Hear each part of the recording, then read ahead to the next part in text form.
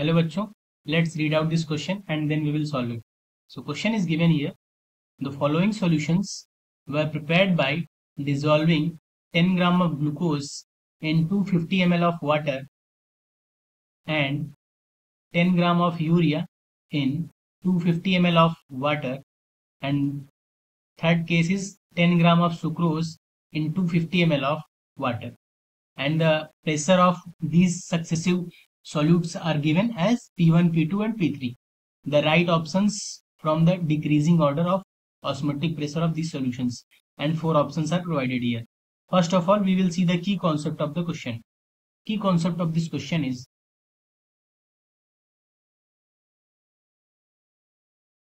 expression for expression for calculation of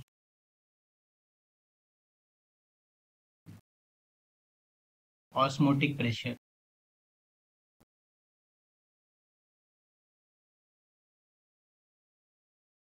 and the expression is pi is equals to C R T where C is molarity T is temperature in Kelvin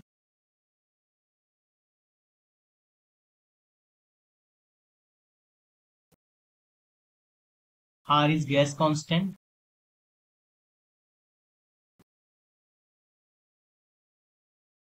Now we will deal each one case. In case 1, P1 will be equal to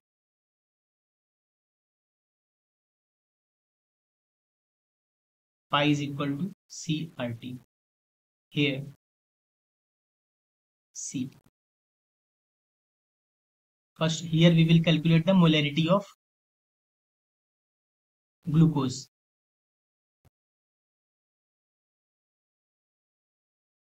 Here the formula of molarity is number of moles divided by volume of solution multiplied by R into T.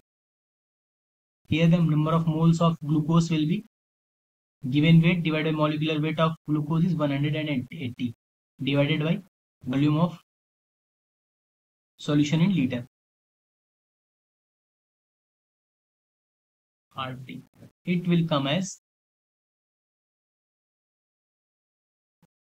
10 by 180 multiplied by 100 divide 1000 divided by 250 into RT.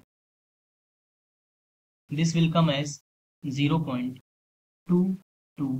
RT. So value of P1 is 0.22 RT. Now we will deal the case 2. In case 2, P2 will be equal to 5 and here molarity will be 10 gram of urea is dissolved in 250 ml of water so it will come as 10 by 60 multiplied by 1000 divided by 250 into RT. On calculation, it will come as 0 0.67 RT and now we will deal last case case 3 so here p3 will be pi is equals to crt we will use the same expression. And here molarity will be molecular weight of sucrose is 342 gram. Now it will 250 divided by 1000 into RT. On calculating, it will come as 0.11 RT. In all the conditions, RT is multiplied and here we are calculating on the same conditions. So, on comparing for the decreasing order, it will come as P2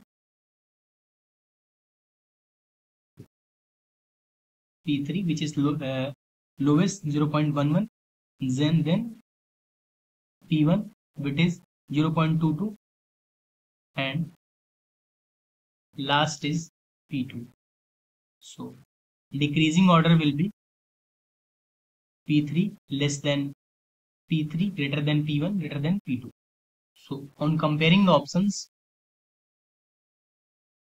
option number C will be the correct answer.